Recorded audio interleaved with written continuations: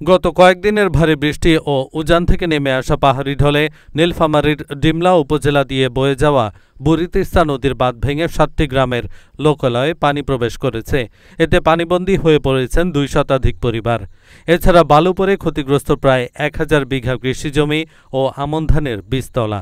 বৃহস্পতিবার দিবাগত রাতে উপজেলার মধ্যম সুন্দরখাতা এলাকায় বুড়িতিস্তা নদীর মূল বাঁধে প্রায় একশো মিটার অংশ ভেঙে গেলে এসব গ্রাম প্লাবিত হয়।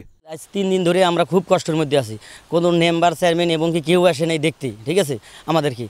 এখন মনে করি এরকম ছয় সাতটা গ্রাম আছে ছয় সাতটা গ্রাম তলিয়ে আছে, মানুষের বিছন ফেলে আছে, পাট এবং কি আরও অন্য অন্য জিনিসপাতি, আবাদ বাড়ি সব কিছু নষ্ট হয়ে গেতেছে। এখন আমরা খুব কষ্ট দিয়ে আছি। পাট হলো, ডুবে গেছে, আর হলো হল- হলুদ গাছ, হলুদ টলুদ, এগুলা গাছপালা হলো সব ভাঙচুর হয়ে গেছে। ধানের চারা হলো রোপণ করছে, ওগুলা সম্পূর্ণ হলো নষ্ট হয়ে গেছে। যাতায়াত রাস্তা কোনো রকমের রাস্তা নাই। আমরা আজকে যেমন সারাদিন আমি ওই শুধু ওই বাড়িতেই।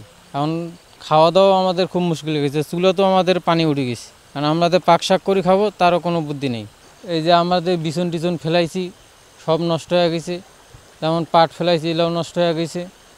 কারণ আমরা খুব কষ্টে আছি। এহসানুল হক, ঢাকা পোস্ট।